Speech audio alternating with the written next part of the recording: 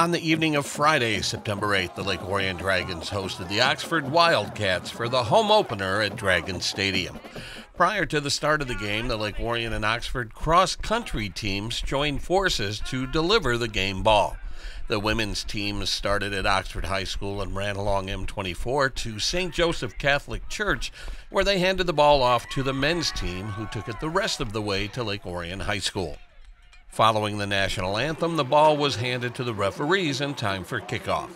The relay raised $3,000 for the Tate Myre Foundation, 42 Strong, whose mission is to create a better future by helping students develop a greater sense of purpose, community, and resilience. Lake Orion started off the 2023 season with a 54 33 win over Livonia Stevenson at the Battle of the Big House on August 24th. They improved to 2 0 with a convincing win at Harper Woods 28 6 the following week.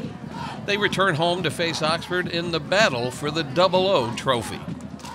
With under five minutes to go in the first quarter, Oxford has the ball on their own 44 yard line. Quarterback Jack Hendricks pitches the ball to junior Luke Johnson, who finds a hole and outruns defenders on his way to the end zone. The 56 yard run puts the Wildcats on the scoreboard first the JKD PAT is good, and Oxford leads 7 0. During the following possession, the Dragons are on their own 25 with quarterback T.R. Hill in shotgun. He takes the snap and hands off to Bill Roberson, who goes outside, skirts the sideline, makes a cut, and goes the distance 75 yards into the end zone. The Hoffman PAT is good, and the Dragons even things up 7 7. With 3.19 still left in the first, the Wildcats are at their own 46 with Hendricks under center. He hands off to Luke Johnson, who once again finds a hole and almost reaches the end zone, but he's run down by Andrew Parker and taken out of bounds at the one. But on second and two, Johnson runs left and completes the drive with a touchdown. The KDPAT was good, and the Wildcats go back on top 14 7. Let's go to the second. Following an Oxford penalty, the Dragons begin a drive at the Wildcats' 40 yard line. On first and 10, Roberson takes the handoff and tears off a nice gain, reaching the 17 yard line. A few plays later, on first and goal, Hill fakes the handoff, keeps it, and goes in for the score. The PAT was good, and things are even again 14 14. Following an Oxford punt, Lake Orion begins a drive at their own 25 with 7.19 left in the second. Facing a fourth and two on Oxford's 42, T.R. Hill hits Dominic Novak at the 20, and he does the rest, evading tacklers on his way to the end zone. The extra point was good, and the Dragons take the lead for the first time in the game, 21 14. With 9.23 left in the third, Hill is in shotgun on first and 10 at the 35. He hands off to Roberson, who makes some nifty moves and is forced out of bounds at the 21. On first and goal from the 10, Hill is in shotgun. He takes the snap, fakes the handoff, and goes in for his second rushing TD of the game. The PAT was good. Lake Orion 28, Oxford 14. A Hoffman field goal in the third quarter extended the lead to 17 points.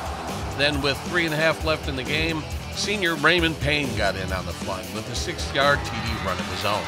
With Hoffman adding yet another extra point, the final score Lake Orion 38, Oxford 14. With the win, the coveted Double O trophy stays at Lake Orion High School for another year. We caught up with head coach Chris Bell after the game, who praised his impressive quarterback. He's playing great football. He makes good decisions. He's one of our biggest weapons. Um, he can run it. He can throw it. He's smart. He's calling. He's calling some plays out there that he sees. Um, he just like he is. He's worked very very hard in the off season. He's worked very hard all summer with Coach Fisher, and uh, I can't say enough good things about him. He's accurate. He's tough. You know, our just our concern we just have to keep him healthy. But yeah. he's he's playing lights out. Yeah. Talk about the defense because you were down 14-7 and Luke Johnson was seemingly going off for, for Oxford there. And at some point, something happened there in that second quarter. You guys end up scoring 31 straight thereafter. What what was something done defensively that allowed you to make adjustments to to s- hold him under? Part of it's just settling down. Sure. In tackling, we missed a lot of tackles early on. The other thing is when they run their zone scheme, you know, if you're not if you're not staying in your gap, you're allowing for open holes and cutbacks. That's the thing. Sometimes we would play too fast. We would overrun plays. You throw in a missed tackle, and it was big plays. So, and they're very good. They're One of the best zone teams around, and they got a back who runs hard. And yeah, early on, they, they, they were coming off the ball. Mm-hmm. So not only did we have to do a good job against the zone, we had to hold our ground as they were coming off the ball. So it was a good test for us. Your front four played really well tonight. Yeah, they do. You know what? They play hard, and they and we're rotating those guys. And our outside backers, our two bookends, in, in Katie and and uh, Joey. Secondary's been playing well. I love our defense. It's just it's it's a new scheme. We've gone from the four-two-five to more of the hybrid three-four. Um, so I just we got to keep getting better every single week. The Dragons improved to 3 0 on the season and will host the 3 0 West Bloomfield Lakers on Friday, September 15th. From Dragon Stadium, this is Joe Johnson reporting for ON TV Sports.